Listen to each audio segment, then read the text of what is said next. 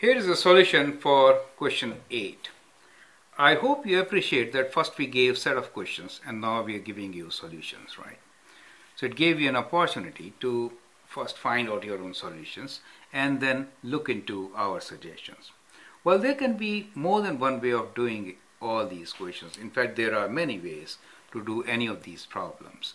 So, you know, the way which we are doing may help you at times. The points A, B, C, D and E are selected at random in the plane.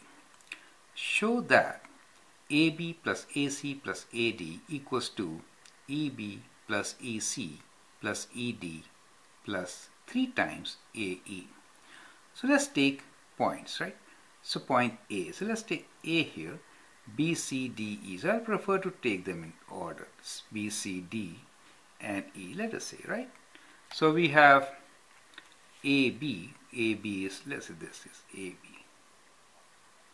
Let me write this here A, B. And that is C for us, then we have D, and then we have E for us, right? So what we are saying is AB plus AC plus AD. So we are considering these three. Their sum is equal to sum from E, right? So from E to B, so so that that is what we are E to B. So from E we are connecting all other points.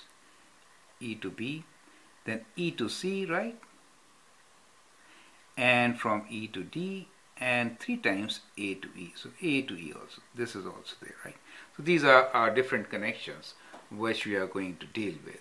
So let's start with the left side. So left side for us in this expression is AB plus AC plus AD. Now since we want in terms of E, so let's say AB, how can we write in terms of E? So AB can be written as AE plus EB, right? So we'll write this as AE plus EB.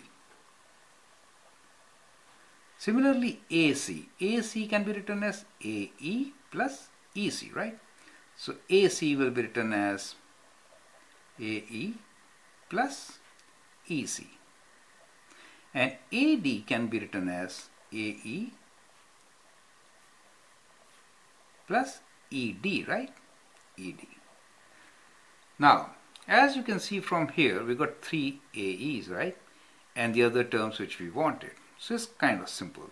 So just write 3 times A plus this, which are not A's, right? These are the three terms. EB plus EC plus ED, right?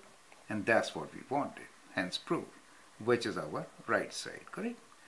So we have proved left side is equal to right side, and that's how we're going to prove it. Thank you.